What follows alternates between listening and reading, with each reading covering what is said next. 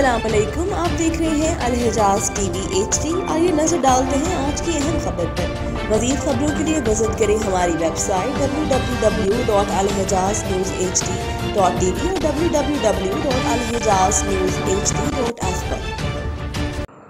रावलपिंडी से मलक जहद कयूम की रिपोर्ट के मुताबिक, चीफ ट्रैफ़िक ऑफिसर रावलपिंडी के अहकाम की रोशनी में डीएसपी ट्रैफ़िक सदर सर्कल ने अपने सर्कल में ओवरलोडिंग वाली गाड़ियों और ट्रैफ़िक में रुकावट बनने वाली गाड़ियों के खिलाफ कार्रवाइयों का सिलसिला शुरू कर दिया है।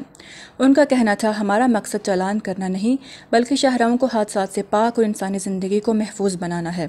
तफसीत के मुताबिक, chief traffic officer Rawalpindi Rai Mazhar Iqbal के अहकाम पर अमल करते हुए D S P traffic Saddar circle Majeed Akhtar और D S P traffic Kadiala circle Faisal Khokhar का अपने सर्कल में ओवरलोडिंग वाली और ट्रैफ़िक में रिकावट बनने वाली गाड़ियों के खिलाफ भरपूर कार्रवाई का सिलसिला जारी।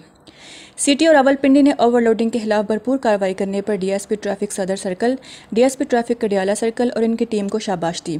इस मौका पर chief traffic officer Rawalpindi Rai, Mazhar Iqbal का कहना था कि हमारा मकसद चलान करना नहीं, बल्कि शहरों को हादसा और इंसानी ज़िंदगी को महफूज बनाने के लिए कवानीन पर अमल करवाना है, जिसके लिए ट्रैफ़िक पुलिस शब रोज़ इकदाम कर रही है।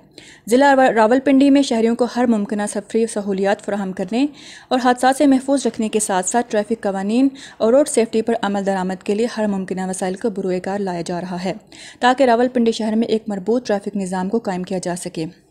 इनका मजीद कहना था कि ओवरलोडिंग और दूसरे रोड यूज़र्स की ज़िंदगी के लिए खतरे का बायस बनने वालों के खिलाफ चालान के साथ एफ़ आई आर भी दर्ज करवाई जा रही है। लिहाजा किसी किस्म की कानूनी परेशानी से बचने के लिए ओवरलोडिंग से गुरेज करें।